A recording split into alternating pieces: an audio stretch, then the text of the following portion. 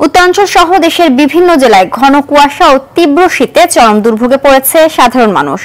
মাঘের হাড় কাঁপানো শীতে যুবথুবু হয়ে পড়েছে চুয়াডাঙ্গার জনজীবন। সকাল থেকে দুপুর পর্যন্ত সূর্যের দেখা না মেলায় সবচেয়ে বেশি কষ্ট পোহাচ্ছেন খেটে খাওয়া ও ছিন্নমূল মানুষ। সময় মতো কাজে যেতে পারছে না তারা। কুড়িগ্রামে তিন দিন বিরতি দিয়ে আবারও বাড়ছে শীতের তীব্রতা। সন্ধ্যার পর থেকে সকাল পর্যন্ত বৃষ্টির মতো শিশির ঝরতে থাকে। এ সময় ঘর থেকে বের হতে পারে না কেউ। ঘন কুয়াশার কারণে দিনের বেলাও হেডলাইট জ্বালিয়ে যানবাহন চলাচল করতে হয়। টাঙ্গাইলে গরম কাপড়ের অভাবে চরম কষ্টে দিন পার করছেন ছিন্নমূল ও চরাঞ্চলের মানুষ। হিলের ওপর দিয়ে বয়ে যাচ্ছে শৈত্যপ্রবাহ। শীতজনিত নানা রোগে আক্রান্ত হচ্ছে এই অঞ্চলের শিশু ও বয়স্করা।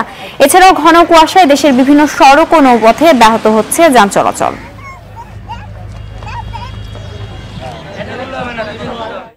এদিকে ঘন কুয়াশার কারণে গত রাত সাড়ে দশটা থেকে পাচুরিয়া দৌলতদিয়া নৌপথে ফেরি চলাচল বন্ধ আছে। এ বিষয়ে জানাতে সেখান থেকে আমাদের সঙ্গে যুক্ত হচ্ছেন সহকর্মী জাহাঙ্গীর আলম বিশ্বাস। জাহাঙ্গীর, ফেরি চলাচল কখন নাগাদ শুরু হবে?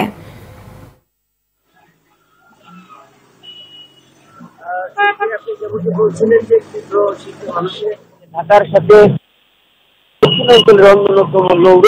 পাটুরিয়া দৌলতিয়া নৌপথের ভোগান্তি আপনি দেখছেন যে গত এক মাস ধরেই কিন্তু এই প্রতিদিনই কুয়াশার কারণে দৌলতিয়া নৌপথে সেই সার্ভিস বন্ধ থাকছে। এর ব্যতিক্রম আজও নেই। গতকাল রাত সাড়ে দশটা থেকে এখন পর্যন্ত কিন্তু ফেরি চলাচল বন্ধ রয়েছে। এই কারণে পাটুরিয়া এবং দৌলতদিয়া উভয় ঘাটেই কিন্তু বিপুল সংখ্যক দৌলতদিয়া উভয় ঘাটেই কিন্তু বিপুল সংখ্যক পণ্যবাহী ট্রাক অন্যান্য যাত্রী গাড়ি